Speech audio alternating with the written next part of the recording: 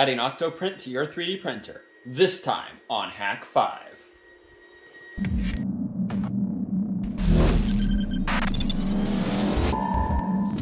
Hey everyone, Glytch here and welcome back to Hak5.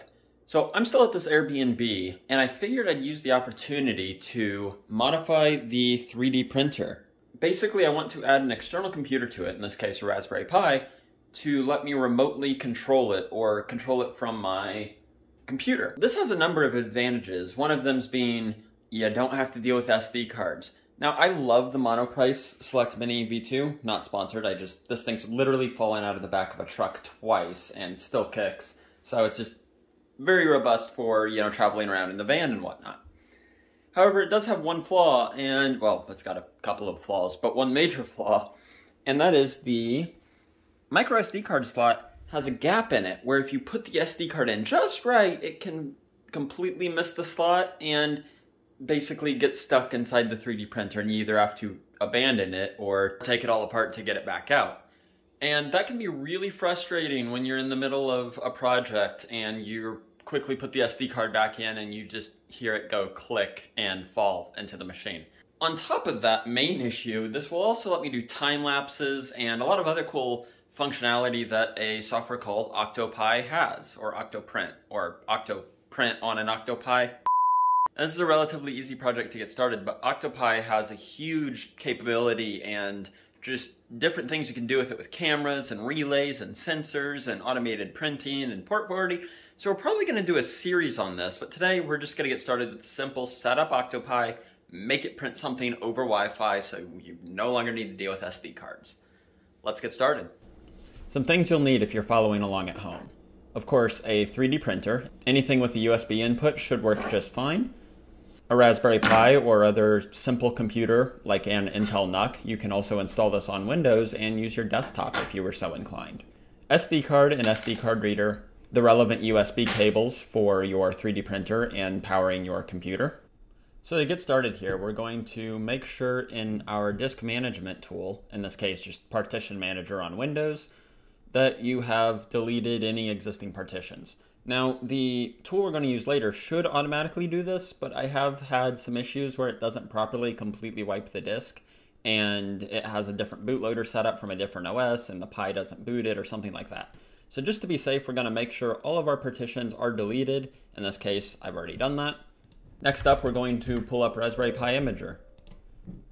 Now, I believe this tool works on Linux and Mac. If not, you can do this with DD or some other tools and just download the ISO. Now, you scroll down to Other Specific Purpose OS, Octopi, Octopi, choose Storage, make sure that your SD card is selected, and before we hit Write, I don't know why this isn't a menu that's a little more obvious, but in the Raspberry Pi Imager, you can hit Control-Shift-X, and before you even bake the SD card and need to edit text files, you can configure your Wi-Fi right here.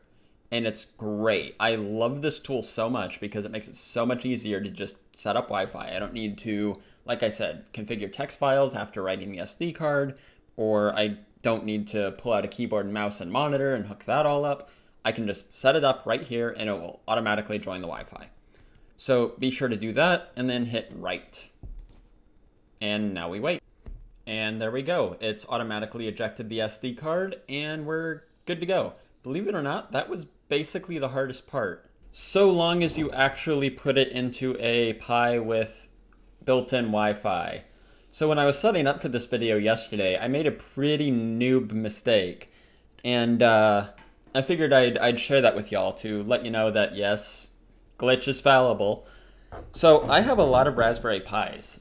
In particular, I have a lot of Raspberry Pi 3B 1.2s from like 2015. I haven't done anything with these in upwards of 9, 10 months. So I did a quick Google search. Is the Pi 3B Wi-Fi capable? And the first result was yes. The Pi 3B is from 2016 on has built-in Wi-Fi. Great. I proceeded to spend two and a half hours wondering why I wasn't getting a Wi-Fi connection. This was made even more confusing by the fact that while debugging, I connected via Ethernet and it actually got a lease from the router, and so Octopi was in my router, but I couldn't talk to it.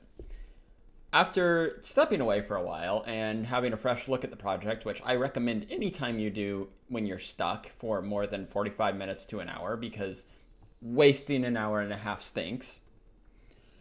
I came back, put the SD card, well, I had to reflash the SD card so that it would be set up for a Pi 3B Plus instead of a Pi 3B.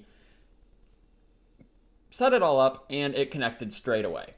I proceeded to dig a little deeper on whether or not the 3B had Wi Fi. The answer was no. The 3B does not have built in Wi Fi. So either switching to the 3B Plus out of the gate or using one of these guys, I could have saved two and a half hours. So don't make the same mistake I did. Okay, once your Pi is all booted, you can browse to octopi.local and follow the setup wizard. Restore from backup. Well, if you're following this tutorial, you don't have a backup. Default printer profile, we will call it mini, monoprice, select mini v2. This will probably be different for you because you are not using the same printer as me, almost certainly. In my case, these are all 120 millimeters cubed. Heated bed, heated, not no heated chamber, no custom mounting box. Normally you should be able to hit connect, but for me, this won't work. First off, my printer isn't powered on, whoops. Now you should make sure to run the update as soon as you get the opportunity to, and it's as simple as that. That's the great thing about Octopi is everything more or less just works at this point. It was a little rocky starting out, but these days it's push button, get exactly what you want. The UI is a little simple, but it works. Oh yeah, here's a fun thing. It'll even tell you when your Pi is running on a too weak of a power supply. I plan to fix this in the next video by eliminating the need for an external power supply using a fun little hack and some other components, but that's for the next video. So specifically for my printer, I need to go into the plugin manager and hit get more and install the monoprice connection fix. Now, a very select few printers handle serial a little bit differently and you can get fails and other issues. Interesting. There we go, now it seems to be working. As I was saying, you can get some little hitches and issues when trying to connect to the printer in the main menu here. But now that I installed that, I can go to serial port, baud rate, hit connect. If I go over to control, we can actually make it move. Hit the home button and it'll do the homing routine. Now, here's another thing we're gonna cover in this series is the webcam. You can view your printer and start prints and do everything from anywhere in the world and make sure it's running safely. Now, it does tell you not to do that because 3D printers are inherently dangerous machines because they get hot, so you probably don't want to leave it unattended. But you can. And that's the great thing about Octoprint is it adds so much capability to a printer.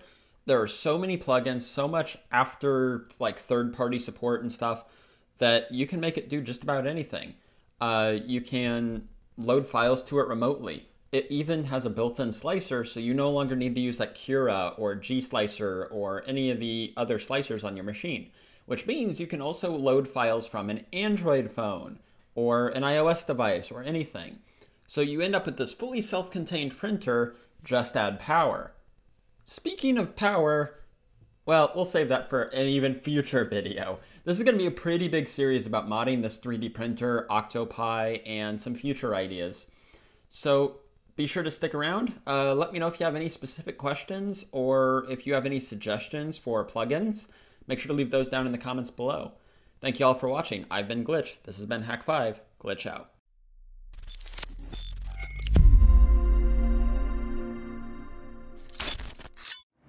Thanks for supporting Hak5. Find all our shows, community, and pentest products at hak5.org.